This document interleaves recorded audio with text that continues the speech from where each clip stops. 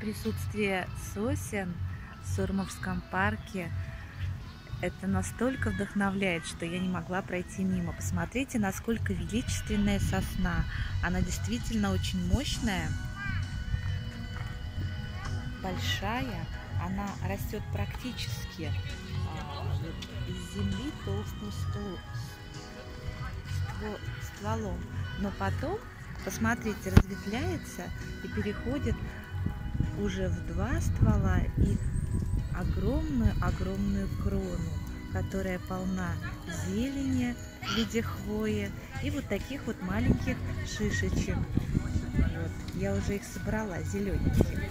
Почему мне нравятся зеленые шишечки? Потому что они помогают при бронхолегочных заболеваниях и также у кого, может быть, бывают простуды, иногда кашли, еще что-то. Вообще сам воздух, он полон фитонцидов, поэтому если вы находитесь где-то на природе, там, где сосны, вам просто нужно правильно подышать. Можете по системе Ивановой, можете просто, а, допустим, 4 на 4 счета вдох, 4 пауза, 4 выдох, 4 пауза. Это вот, допустим, вдох, раз, два, три, четыре, пауза.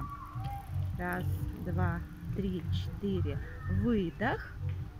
Раз, два, три, четыре, пауза.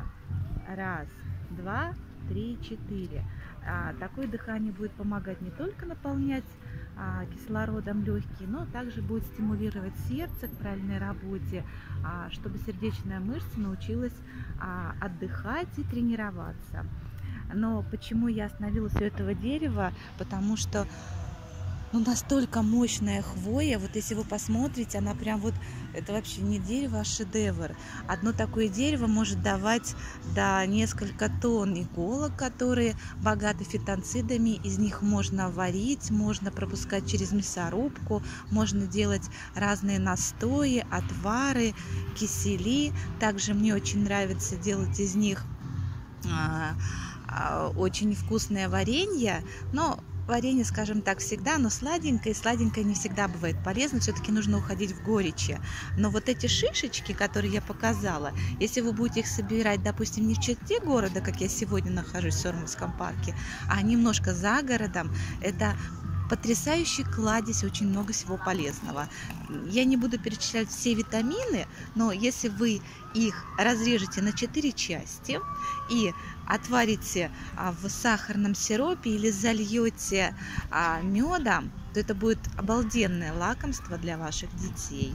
А, из шишечек можно делать многие лакомства, о которых я расскажу чуть попозже. А сейчас выходите на свежий воздух, любуйтесь природой, потому что психология все-таки она первична, заболевание за заболеванием, а нужно все-таки отдыхать.